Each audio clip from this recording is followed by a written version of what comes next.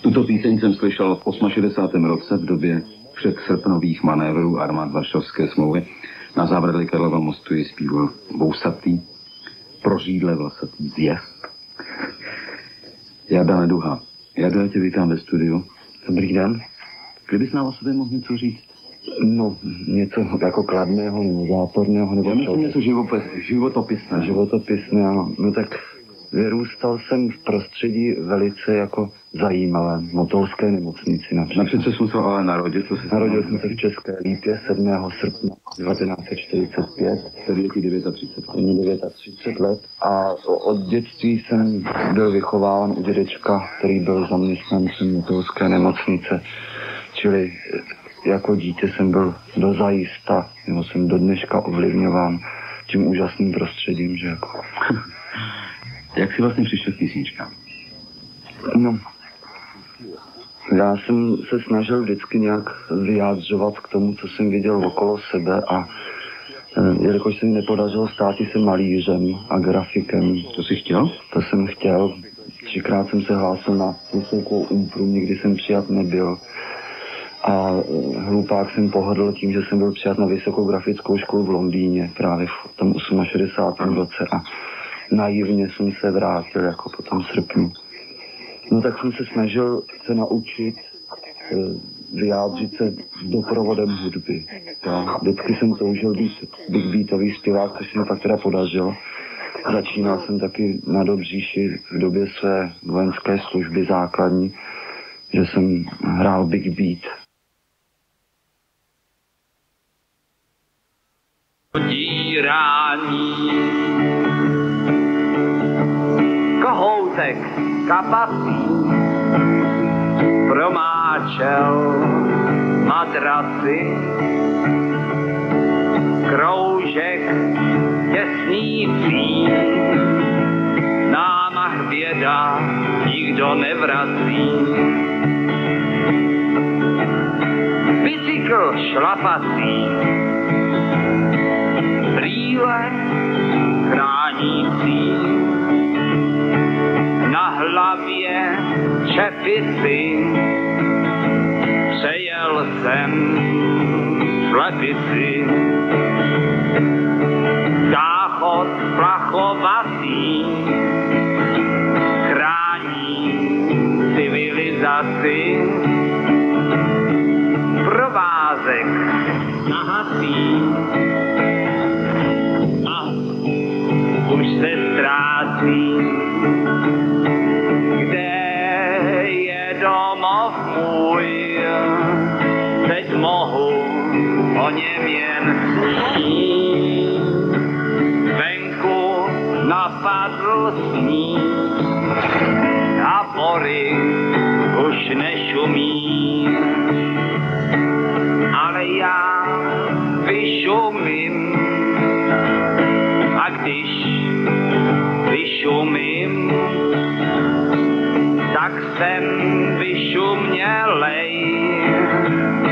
Prosím pěkně, úplně celej. Už je to protest gong, už je to protest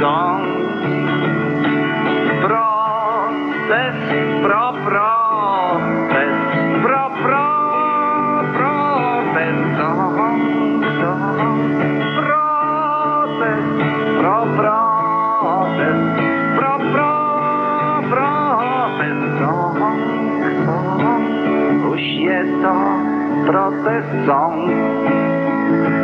Tak by mohl zazvonit komet,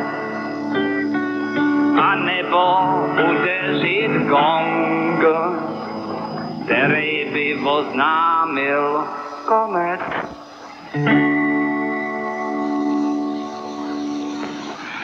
Píseň Sněhorčina. Jado, odkud tvoje zaujetí pohádkami? Tuhle písničku si možná psal, když skončilo představení pro děti? Já jsem velký obdivovatel jak Josefa Štefana Kubína, českých loutkářů starých, Matěj Kopeckýho a přivezl jsem si dokonce tlusto spisy her lidových loutkářů do Vídně, do emigrace a doufám, že někdy třeba ještě nějaký ten pimpedlový teátr vznikne, že Ty si tuhle písničku napsal tedy, já tě chci dostat k tomu, kde jsi napsal vlastně. No, vznikla, eh, jak já říkám, vykvetla na hospodském věšáku u stolu v restauraci u krále Brabantského. Legendární hospoda v Tunovské ulici, kde bývalo takto otevřeno do, do jedný, do dvou, což už dávno není pravda, protože eh, dělníci musí brzo stávat do práce. Takže tam jsme seděli s Tomášem Floriánem a pili jsme život plnými doušky. No a tam vznikla kromě jiné tohle ta píseň a já bych jenom chtěl poznamenat, že o Tomášovi Floriánovi bych chtěl rád někdy udělat asi 15-minutový pořad, protože... Já taky bych udělal. Dobře, tak potom dát. Já do co by si... Něco, co je takové význačné pro tvůj život? Ten mám napsáno setkání. Setkání je písnička, kterou jsem napsal na St. Martin Place eh, v Londýně, kde jsem seděl, hrál a eh, maloval obrázky a To bylo v roce? v roce 1968 a kromě jiného jsem se tam handrkoval s nějakým takovým z české ambasády, který přiběh a začal vykřikovat, vy nemáte žádnou národní hrdost, jak to, že tady sedíte a žebráte. A jsme říkali, no jo, tady za rohem sedí chlapec z Paraguaje a za druhým rohem chlapec ze Švédska. My tady máme napsáno studenti z Československa, to je pravda. To není nic vymýšlené. Takže tam vzniklo to setkání na základě toho, že vycházela svatba z kostela. A tak dál. Takže si ji poslechnu. Setkání. Potkal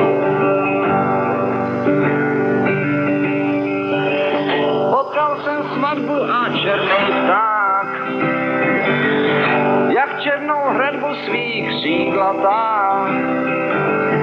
Nad vlečkou bílou plnou dětských snů, nad vlečkou bílou plnou prázdných dnů. Na břeh jsem si set a bílou loď, nechal jsem si ujet před nosem.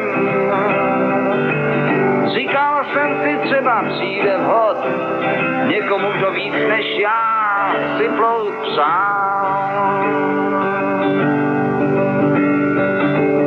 Potkal jsem dívku a smekl jsem. Škoda přitíst si pak řekl jsem. Dneska na tebe nemám čas, dneska se mi jen zdáš, dnes jen jsem.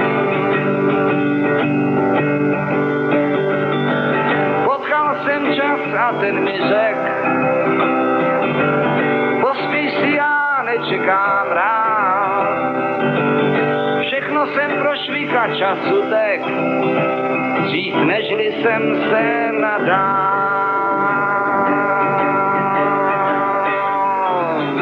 A taky pryč dívka, loď se na čas a už je nepotkám. A taky pryč dívka, loď se na čas a už je nepotkám. Na břeh jsem si seta bílou loď, nechal jsem si ujet před nosem. Říkal jsem si, třeba přijde vhod, někomu, kdo víc než já si plout přál. A tak je pryč dívka, loď se na čas a už je nepotkám. A tak je pryč dívka, loď se na čas a už je nepotkám. Potkal jsem čas a ten mi řek, pospíš si, já nečekám rád. Všechno jsem prošvika času tek,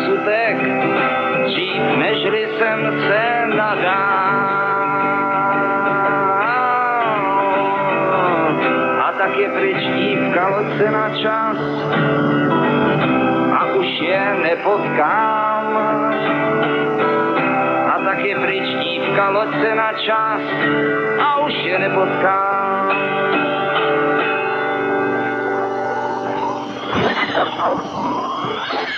Píseň setkání Jaroslava Jeronýma Neduhy, napsaná? No teď to byla, o tom už jsem mluvil, jsem napsal v tom roce 1968 v Londýně, kde jsem trávil asi čtyři měsíce, mm. pak jsem se hlupák vrátil. A teď myslím, že máme natočenou další, to je balada číslo jedna. A ta vznikla taky při cestování, to jsme jeli stopem s Markétou Procházkovou, která skončila velice tragicky, jako nemohla přenést dost dobře jako se vyrovnat s tím, že skončila jako barová zpěvačka v Bílině. Jednou prostě jako se vrátila do Prahy a pustila si plyn a Tohle to ovšem bylo ještě v dobách idylických, kdy se cestovalo stopem přes východní Německo, jsme jeli stopem do Dánska na pozvání a někde nás vysadilo mlíkařský auto. Ve čtyři ráno prostě, nic jiného nejezdilo a najednou z, tý, z toho šera se objevilo takový třesoucí se světilko a teď to skřípání a tmy a z toho šera vyjel na bicyklu takový schátralý dědoušek s dvoumetrovými fousama a projel okolo nás jen ta bandaska na řidítkách řinčela a to jsme nějak tak jako přetransformovali do toho příběhu o tom pánovi, co jel z Bílej hor a o tom je právě ta balada číslo jedna. Takže balada číslo jedna.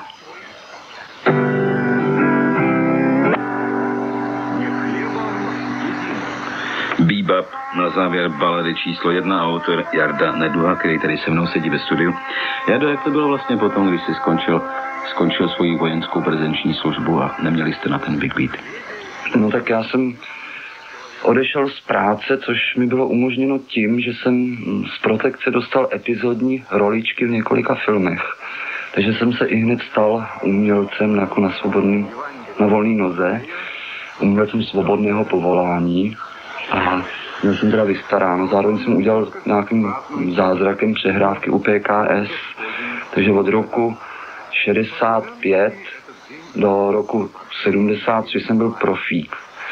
U PKS a u takových různých agentur Spektrum a, a Reduta a tohleto. A hrál jsem v duu e, s Markétou Procházkou, potom s Iliou Bartoškem, s Jirkou Hradcem a s dalšíma lidma, jo, to je, a v roce 73 teda jako mi kvalifikace byla odňata. odňata.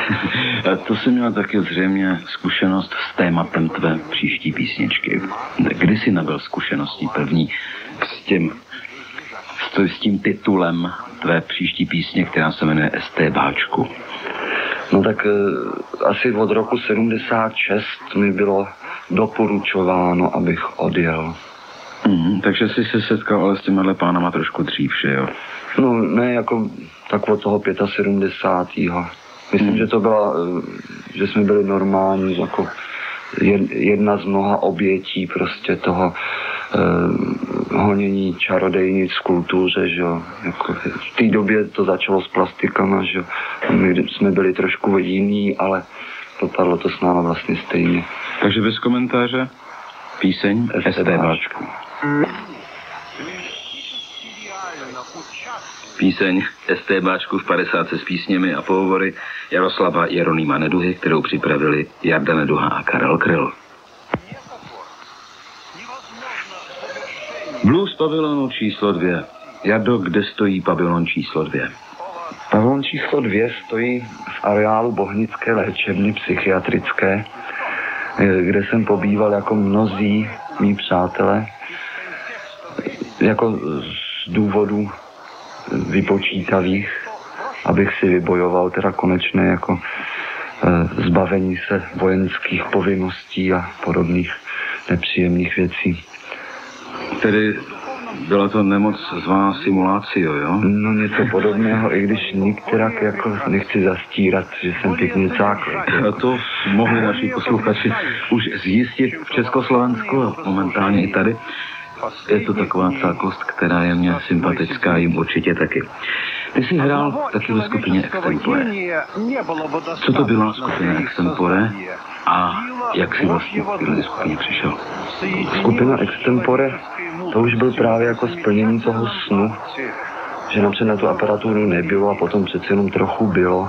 Tak v roce 1972 jsem to založil napřed jako folkový spolek.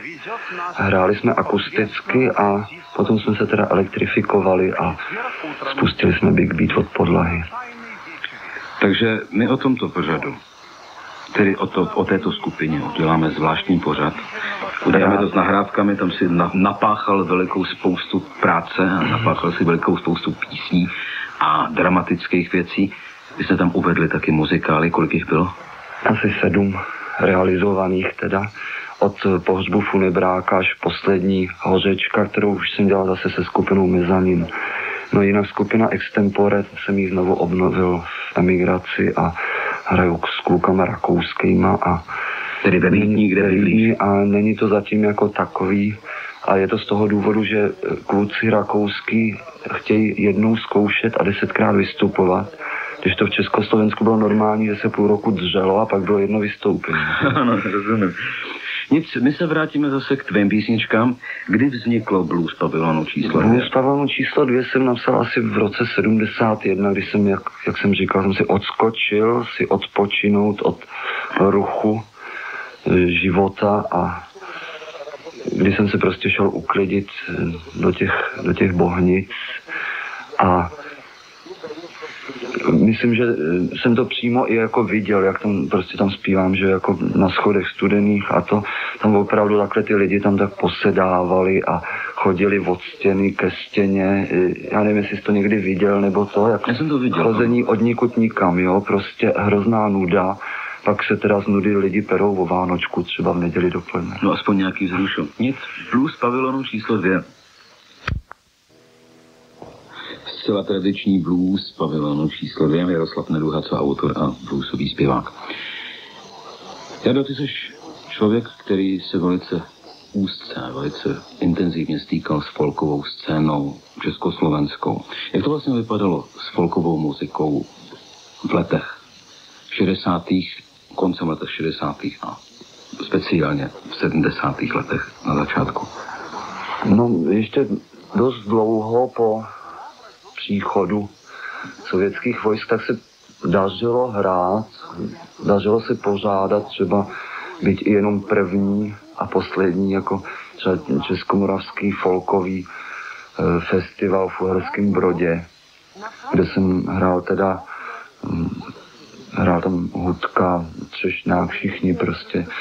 Hm, Ty problémy se začalo prostě stupňovat to pronásledování nebo to omezování, zakazování, znemožňování jako mm, těch koncertů až, až pomalu tak od toho roku 72, 73. Neustále se to stupňovalo, no teď jsem dostal poslední zprávu teda, že byl zrušen svaz hudebníků Praha, což bylo združení, kde působily poloprofesionální skupiny, takzvaní lidoví eh, hudebníci.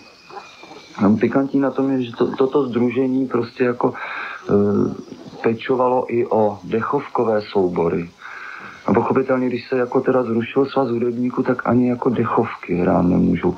Samozřejmě se to vyřešilo nějak tak, jako že všichni si postupně teda musí udělat přehrávky u PKS. Ovšem to znamená zase další šikana vlastně, další znepříjemnění života a další možnost vyřadit nepohodlný muzikanty, že jo. Jak jsi se stýkal vlastně s těmi nepohodlnými muzikanty, počínaje, dejme tomu Plastic People of the Universe a, a skupiny DG třeba, nebo později, nebo současně s Hudkou, s Třešňákem, se Soukupem. S panem Hudkou jsem se moc nestýkal, ale s Třešňákem jsme chodili na pivo celkem běžně. Na poslední době jsem se stýkal v Řepčicích, prosím pěkně přiznám. s Čáli Soukupem a s Váťou Karáskem a teď se s nima stýkám vlastně znova, že jo. Tady jsme se sešli Mhm. na jedné lodi. Mám tady napsáno zelené blues, nebo zelený blues. Zelený blues jsem napsal pro svého bratra, když ten chudák trpěl ve zbrani, když sloužil, až se z ní kouřil.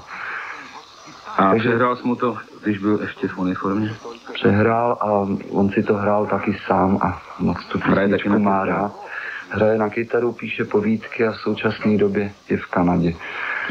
Takže máš vlastně příbuzné v zahraničí. Ano, příbuzné v zahraničí, což doufám, že mi neuškodí v mých kádrových materiálech. Jo, tady možná to bude naopak ku prospěchu, alespoň pro tvoji cestovní kasu třeba, jednou podíváš.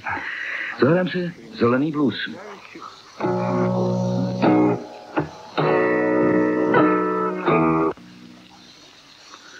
Zelený blues. A já mám ve studiu ještě pořád Jardu Nedovu.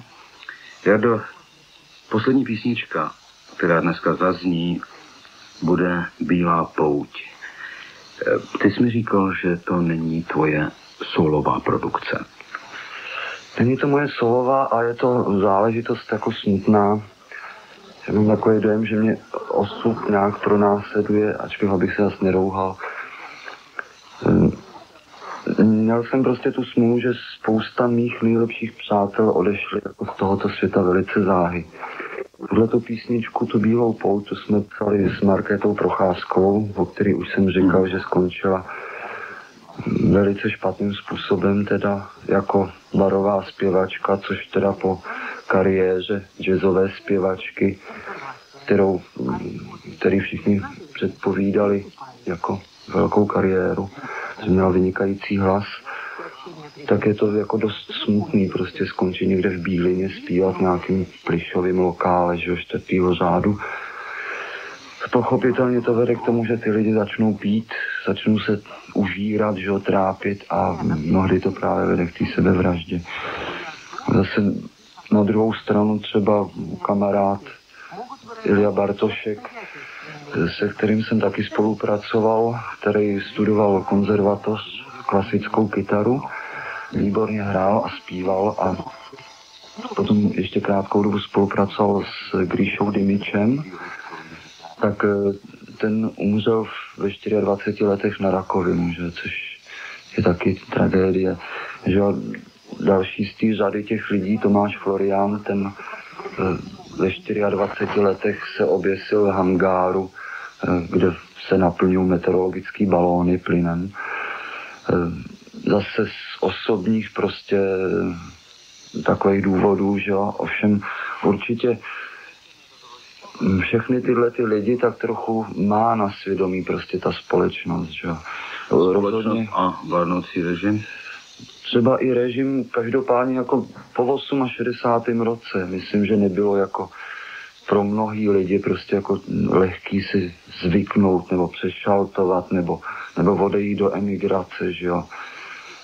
Prostě přizpůsobit se tomu novému, co nastupovalo, že jo. To jako nakonec, když se to tak veme, tak v emigraci skončili všichni, že jo, jako nejprve na nás bylo tlačeno, abychom odešli, zároveň teda jako například na nás chtěli příslušníci STB ušít boudu, že se chystáme spáchat trestný čin, protože pozor, to v Československu už může být trestný čin podezření z přípravy trestného činu. Jo? Takže my jsme měli v úmyslu unést letadlo přes co lítá přes Kubu do Montrealu.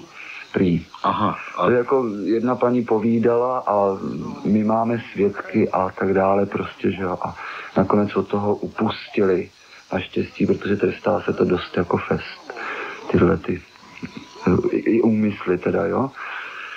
No nakonec, jak jsem mluvil o skupině Extempore, tak skončili jsme v emigraci všichni, že jo. Solový kytarista je v San Francisku, bubeník v New Yorku, baskytarista ve Vancouveru, já ve Vídni, že jo. A nechcete se dát tak třeba dohromady, nebo? No ono je to dost obtížný, protože... Že byste se setkali třeba na Havaji, nebo někde uprostřed, já myslím, na půl cestě, že jo? nebo na Bahamách, někde, někde bychom se sejít mohli, že jo, ale e, je to dost obtížný, protože v té emigraci se taky každý člověk mění i hned, že jo, prakticky. A já si myslím, že Eh, někdy se setkáme, třeba si i zahrajem, ale jako ty Beatles už taky nikdo dohromady nedal, že? Jado, my se pomalečku chýlíme ke konci, budeme se muset loučit. My se samozřejmě k těm písničkám dalším vrátíme v příštím pořadu, který spolu natočíme. Budu se těšit. A já nevím, snad pro dnešek alespoň.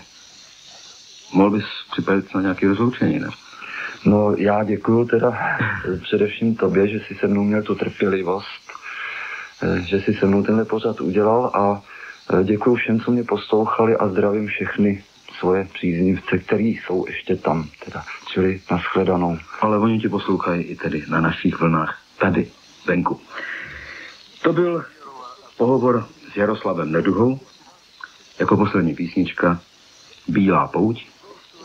Loučí se s váma a stále zde přeje váš Karel Kryl a Jaroslav Neduha. Naschledanou. Tohle tedy je Karel Kryl a dnes po druhé je se mnou ve studiu Jarda Neduha.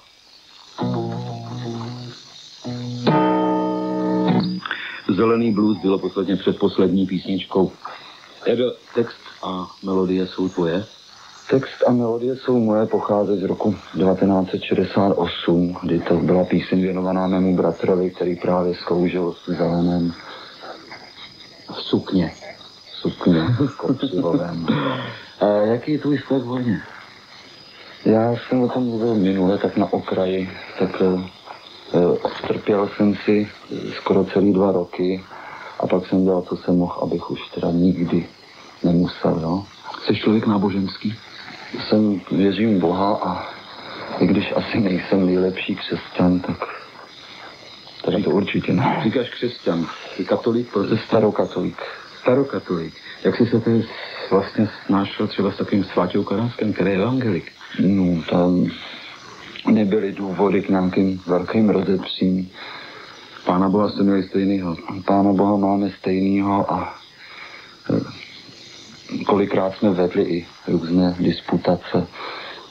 Jako spíš jsme se dohadovali o tom, zda zůstat či odejít jako v Česku a takových věcech jsme se dohadovali. Myslím, že nebyly žádný větší rozmíšky, jako Potkal jsi už sváťu tady taky ne? Potkal jsem, byl jsem ve Francii a cestou jsme se stavovali u něj, takže jsme tam jednu noci spali a doufám, že sváču zase uvidím, jako není důvod, proč bych si tam nemohl zajet, že. Jenom láska k bližnímu? Nebo láska k přátelům? Jo, je láska k přátelům i k bližnímu a neboť jest láska z darů božích. Jeď láska z darů božích text a těžká melodie Jarda Neduha, co interpret a autor, jak jsem řekl, máme ho tady dneska ve studiu. Jde zřejmě o vyznání, že? Je to takovým, takové mé vyjádření toho, jak pohlížím na věci víry a života. Tohoto písničku si prý nahrál taky s orchestrem? No, s orchestrem se skupinou Mezanin a udělali jsme ji folkově. E, zase teda jako s akustickým nástroji plus ještě flétna, housle, percussion, víc kytar, víc hlas. A vzadu dělá, ne? Dělá? Ne, no to, Zvony. ne, to dělám s Musovským teďko. No. Ne, ale jako je tam i ta další písnička, tak patří do této sorty za A písní nábožensky laděných. Jsem tu Lord, jako mm, v té písni říkám posílej dík Bohu. Vzdej Bohu díky. Dávej Bohu dík a hráli jsme to taky se skupinou Mezanin a v duech s různými se skup, V duetech. různých duetech a kvartetech a septetech a eh, Zpívalo taky publikum sebou? Taky zpívalo, dokonce zpívalo v polském eh, městě Loč, kde jsme, eh, kam jsme to odjeli hrát inkognito na festival Japa. To je zase... To se hráli tak igony, což vás nebylo slyšet, nebo jak? Ne, to jsme si vzali nástroje do vlaku a jeli jsme. Jo, jako turisté. Ach, tak. A projeli jsme, bylo to v roce 1980, čili před příchodem eh, spasitele Jaruzelského. Že? Takže to je další píseň, která teď, to je ten Send to the Lord.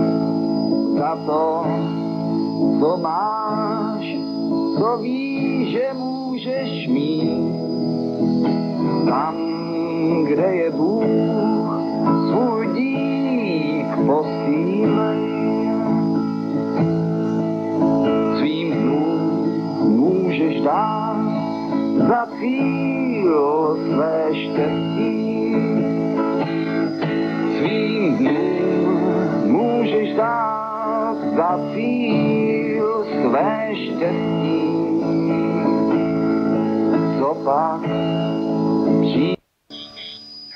Tam, kde je Bůh svůj dík, posílej. Vyznání Neduhy. Jado, to musela být velikánská věc, ty se zaspívali v tom Polsku a sál s váma zpíval. Jsem s námi zpíval a tleskal a v sále bylo tři tisíce platících, kolik jich tam bylo neplatících, to nevím. Úžasná atmosféra a tak to, takovýchto koncertů a festivalů všech možných žánrů, tak se právě před, pícho, před příchodem toho osvoboditele, že tak se konalo v každém městě mm, každý týden prostě, že spousta českých hudebníků, kteří si nemohli zahrát Česku, hmm. tak objížděli právě tyto festivaly a dokonce to natáčela i televize. Tam to prostě šlo. Tehdy. Tehdy. Jako to šlo v roce 1980 to ještě šlo. ano. Já bych se tě zeptal, jaký máš vztah k cestování. No cestoval jsem se snažil vždycky co největší. A v roce 68, 69 jsem jezdil, co se dalo prostě, že Anglie, Holandsko, Dánsko, celý Benelux, západní Německo, pak znova ještě Dánsko, východní Německo, když už nešlo nic dalšího. Pak už nešlo ani východní Německo, protože čtyři roky jsem žil bez pasu, který mi odmítali vrátit, že nebylo v souladu se státními zájmy, abych vlastnil cestovní doklad a cestoval byť i jen do východního Německa.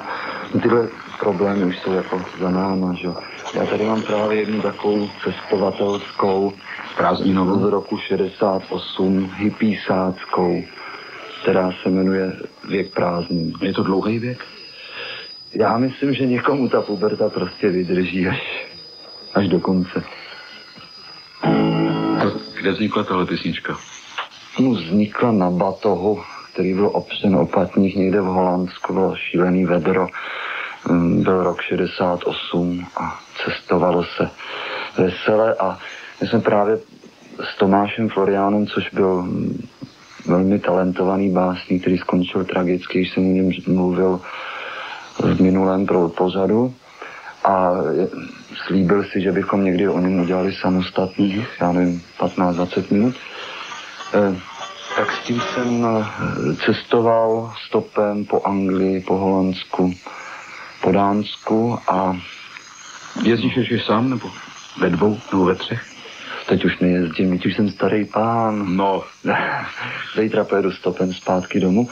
E, dá domů k nám do Vídně, že? Což zní ano příjemně to zní velice, já si nestěžuji. Tak s tím Tomášem Floriánem, s tím jsme potom studovali teologii a psali jsme na některých těch textech, mi pomáhal, některé psal přímo pro mě a takový ty no. takový ty nejkrásnější zážitky, snad se nám tam podařilo do těch textů umístit a teď právě následuje písnička, kterou napsal on sám, jmenuje se uh, Růže na úvěr? Ne, ne, ne, s tím mi pomáhal jenom, pardon. Takže potom na závěr toho uslyšíme poprvé a naposled eh, písničku, kterou napsal. Mm-hmm. Přines mi to na papíře mm-hmm. do restaurace u krále Brabantského rovnou z vazby z Ruzíně. Proč jsi skončil se studiem teologie? No, úroveň té školy, kde jsem, kterou jsem navštěvoval já, tak byla jako dosti slabá a... Kde jsi studoval? Na Husově ČS Bohoslovecké fakultě a za A teda jako mě tam nemělo co držet, prostě ta škola mi nic nepřinášela, naopak, když jsem dělal muziku v té době ještě jako profesionál, tak se to nedalo zvládnout ani jako ty povinnosti vůbec tam chodit, otravovat se tam, v noci přijet z nějakého hraní, že utahanej a ráno ve 8 už tam být na bohoslužbách, to prostě nešlo. Tady to zvládá šlape? No, zvládám to taky tady nestuduju, že? Ano. Jako, a je o mě celkem dobře postaráno, no tak, takže... A je to stejně honíčka, jako když chce člověk stihnout všechno, co, co ho baví, co dohonit ty roky zameškaný, co mu uteklo před frňákem, že jo. Tak jako teď člověk, aby lítal dost z místa na místo. Takže... My skončíme tuto první část písničkou Růže na úvěr. A máš k ní něco říct? Růže na úvěr je podobenství jako celkem snadným, eh, snadno pochopitelný, myslím. Dobře, růže na úvěr. Nekupuj nikdy. Růže na úvěr v 50, kterou připravil a s Jardou Neduhou uvádí Karel Kryl. A po růžích na úvěr další písnička, která se jmenuje Zázrak na seně. Z názvu a z titulu vyplývá, že jde zřejmě o další z písniček tvého náboženského světonázoru. Ano. E, já bych tomu jenom chtěl říct, že jsme hráli i na půlnočních v rotundě u svatého, u svatého kříže, což je na rohu, no, v Praze každý tu rotundu zná, záhojné účasti mladých lidí. A je to píseň na evangelické téma, kde se přímo v Evangeliu svatého Lukáše říká, neměli pro ní místa ani v hospodě, že jak Marie bloudí po Betlémě a nemá kde prostě toho syna božího porodit vlastně. Což je vlastně skoro taková až bezmála mrazící adekvátní situace je to velmi dnešnímu chladnému téma, světu. Eh, které jsem dostal od našeho pražského faráře a je to píseň teda vánoční, takže doufám, že někdy, když budeš mít náladu, o vánočním čase, kdyby si zahrál teda posluchačům. Já rozhodně zahraju častěji než jenom o Vánocích. Zázrak na scéně, který se každé Vánoce opakuje. Vánoční písnička Jaroslava Jeronýma Neduhy. Jado je v písničkářském světě se rodí neustále noví zpěváci. Je to vlastně neuvěřitelný, že po takový, když takhle pustí národu písničkářskému žilou, jak se to stalo u nás, že vlastně vůbec tam ještě někdo zpívá, ale jak slyším nahrávky mnoha lidí, zřejmě jich tam bude zpívat čím dál víc. Čím si to vysvětluješ ty?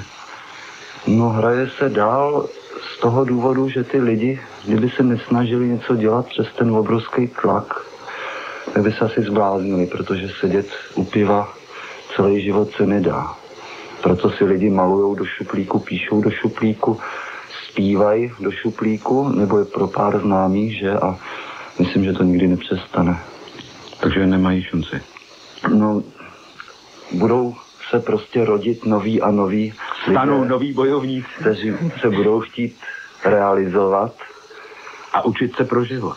A učit se pro život a on ten život, on jim to vytmaví. Takže písnička Učíš se. Má zrovna titul. Čo? Ano, ano. Proč povídat Učíš se pro život. Písnička Učíš se pro život. Jado, jak na to působí vídeňský život? Učíš se tam? Jsi schopný Učím se, je to, je to zase něco úplně jiného.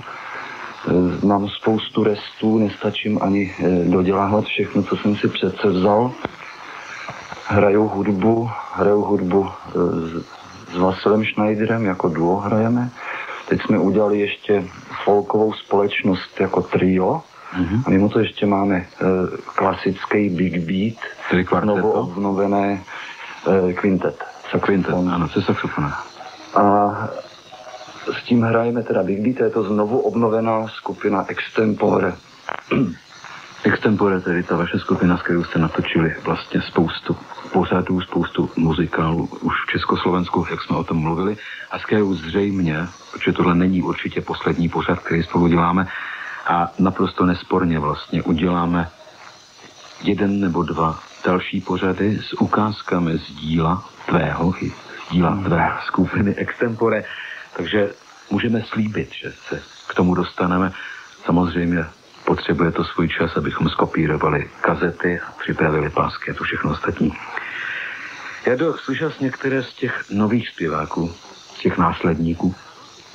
Slyšel jsem, slyšel jsem i nejen jako folkové zpěváky, ale slyšel jsem i tvorbu nových eh, skupin rokových a některé věci teda mě skutečně nadchly.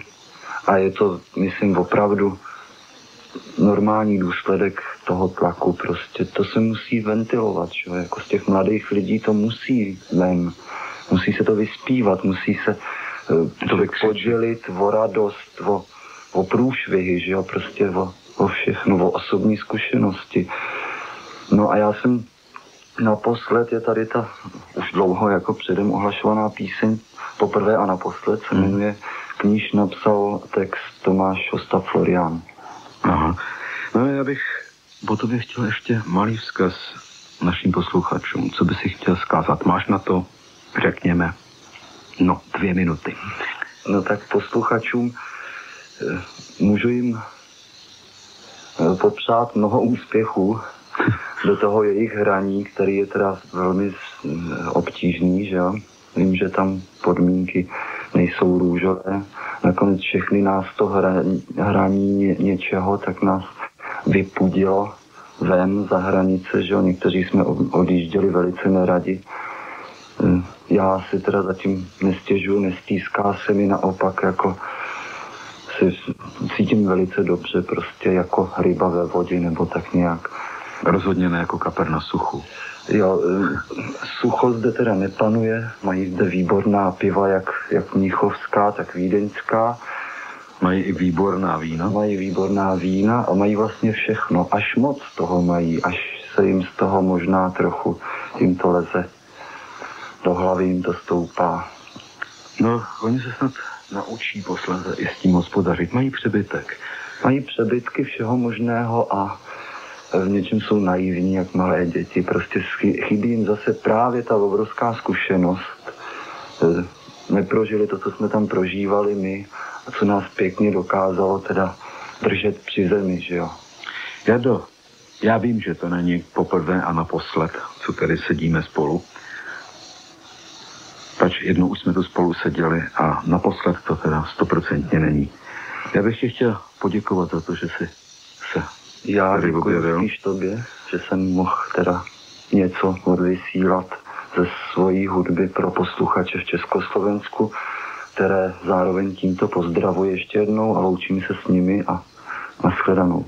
A tím se loučí s vámi i váš